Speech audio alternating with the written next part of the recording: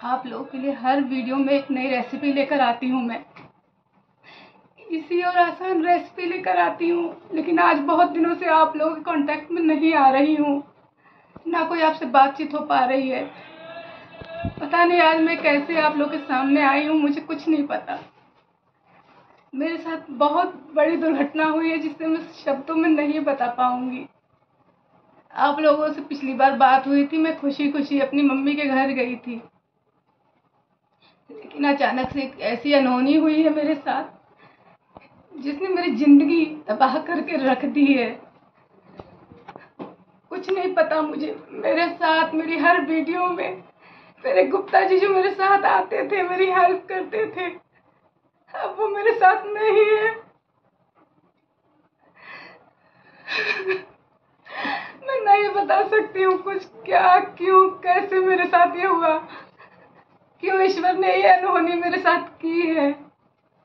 मैं कुछ नहीं जानती हूँ।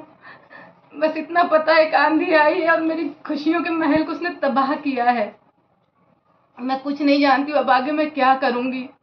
ना तो मेरे पास कोई बैंक बैलेंस है, ना कोई फाइनेंशियल सपोर्ट है। बस एक उम्मीद थी जो आप लोगों के साथ में लेकर आ रही थी हर वीडियो में। एक उम्मीद से कि शायद मुझे जीने का एक ज़रिया मिल जाएगा। लेकिन ईश्वर को वो भी मंजूर नहीं था और वो भी मुझसे छीन लिया गया। मुझे नहीं पता आगे मैं क्या करूँगी, कैसे करूँगी और आप लोगों के साथ कैसे जुड़ूँगी।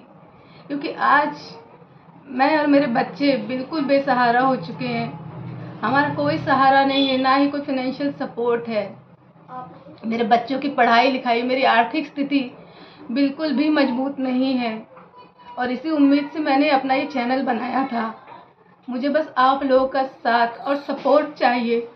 प्लीज़ इस वीडियो को जितना हो सके पूरा देखें और शेयर ज़रूर करें, क्योंकि आप लोगों का एक एक साथ एक एक सपोर्ट मेरे और मेरे बच्चों के लिए काफ़ी मदद करेगा। तो प्लीज़ मुझे हेल्प कीजिए, मुझे सपोर्ट कीजिए और मेरे साथ हुई इस अन्याय की लड़ाई में मेरे साथ खड़े हो जाइए।